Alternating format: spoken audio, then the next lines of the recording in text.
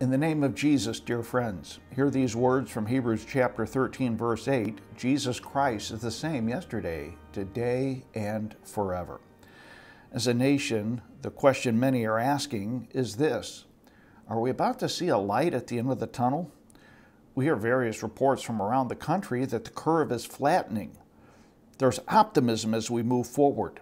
Promising developments continue as progress is being made on a vaccine or treatments for COVID 19, people want to go back to work. But in other parts of the country, the sick toll continues to rise, the number of deaths continue to rise. There's a glimmer of hope, but there's still a feeling of emptiness.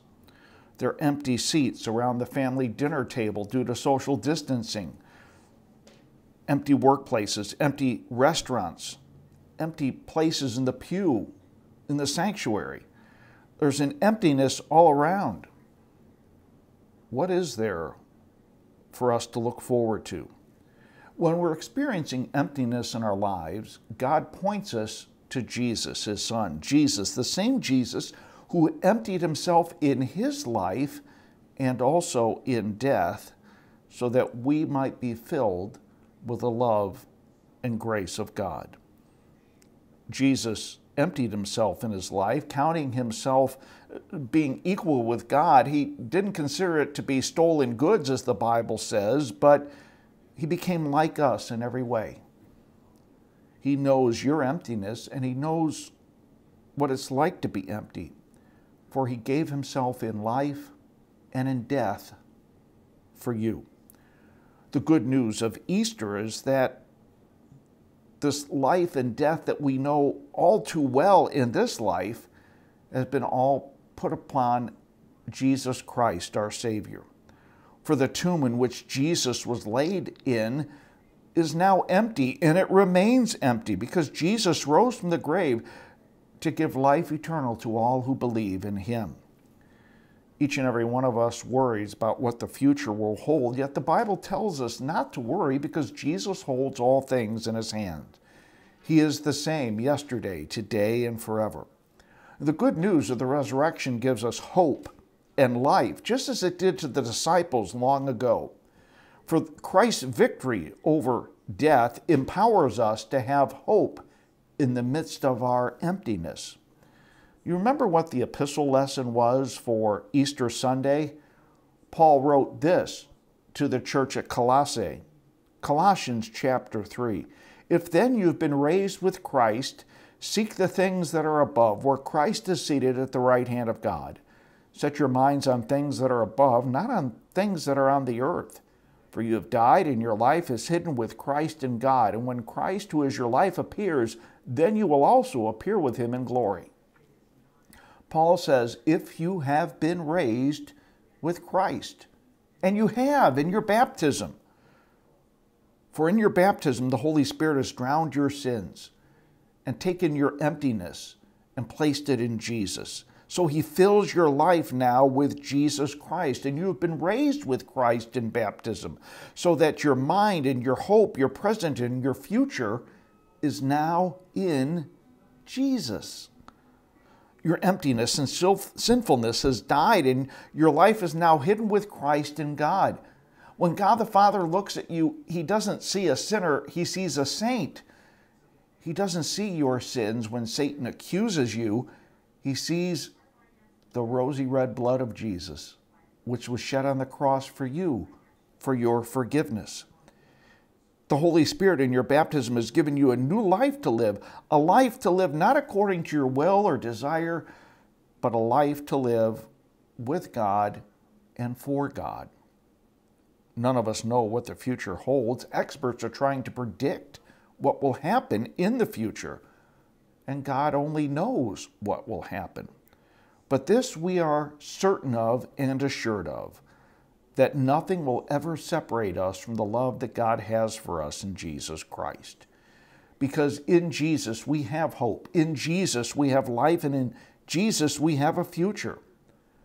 A future that puts Jesus at the center of all things, center of the new normal that we'll be living.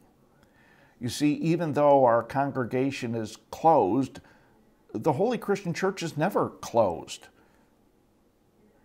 The church is still alive and active because the same Jesus who defeated death and has the power over death is able to help you now and into your future.